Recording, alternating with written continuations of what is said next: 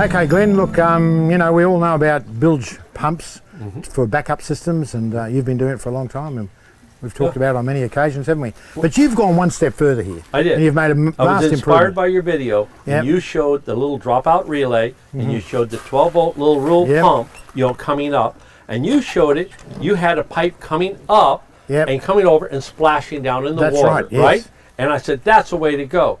But then I, I wanted to add it something else. So what I did is I come out of the pipe in with a small pipe, and I just simply go into a bigger pipe, So we're venturing it, really, aren't we? venturing it, right? Yeah. And so I call this a Glentury. It's a Glen A. Glentury, right. And so I take this down. Now, if I have a power failure, I'll just hold this. you hold that. So, okay.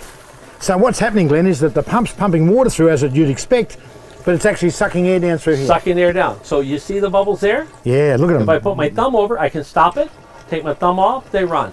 Look at that. See that? So it's That's actually good. doing it's actually doing everything, isn't it? Yep. It's actually circulating the water in the tank, Right. Because we don't want to have stratification, Right. And we want to distribute the air all through the and and it's adding so much air at the bottom, At the not bottom. at the top. That's right. And it's a curtain of air all the way Yeah. across. You see there? So, Glen, I've got to Yep. take my hat off to you on that one. That is a vast improvement.